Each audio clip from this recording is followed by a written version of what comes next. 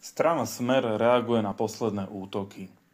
Smer SD dôrazne odmieta útoky opozičných strán a médií na prezidenta Slovenskej republiky Petra Pellegriniho, ktorý sa v súlade s ústavou Slovenskej republiky rozhodol nevyužiť svoje právo veta a podpísal zákon o slovenskej televízii a rozhlase.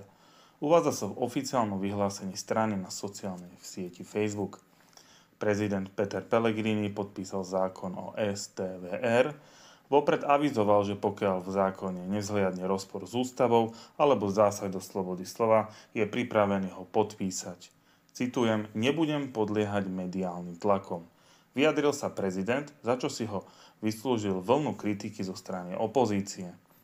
Len pripomeňme, že podľa nového zákona, ktorý nadobúda účinnosť 1. júla, sa mení názov RTVS na STVR – Dňom účinnosti zákona má zaniknúť funkcia súčasného šefa RTVS Ľuboša Machaja a mandát členov súčasnej rady RTVS.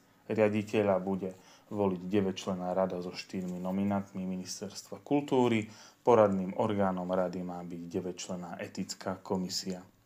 Smer odmieta útoky na prezidenta. Strana Smer SD uviedla na svojej oficiálnej stránke na sociálnej sieti, vyhlásenie, v ktorom dôrazne odmieta útoky opozičných strán a médií na prezidenta Slovenskej republiky Petra Pellegriniho. Strana tvrdí, že prezident sa v súlade s ústavou rozhodol nevyužiť svoje právo veta a podpísať zákon o slovenskej televízii a rozhlase. Smer SD dáva do pozornosti, že skončila éra, kedy opozícia a média zakričali a hlava štátu sa postavila na ich stranu bez ohľadu na záujmy verejnosti ktorá si výslovne žela zmeny vo vysielaní verejnoprávnej televízie a rozhlasu. Smer SSD ďalej nepochybuje, že prezident Slovenskej republiky má svoje právo veta využívať a bude využívať suverénne a nezávisle od vôle vládnych politických strán. Strana ocenila postoj nominantov koaličnej Slovenskej národnej strany SNS v rezorte Ministerstva kultúry Slovenskej republiky.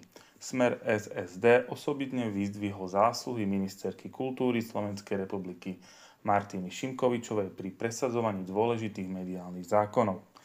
Citujem, napriek tomu, že boli a sú vystavovaní neverbálnym a dehonestujúcim útokom zo strany opozície, protivládnych médií a mimovládnych organizácií, dôradne postupujú pri plnení záväzkov vyplývajúcich z programového vyhlásenia Slovenskej republiky a predkladajú návrh ktorú sú podporované celou vládnou koalíciou, uviedla strana vo svojom vyhlásení.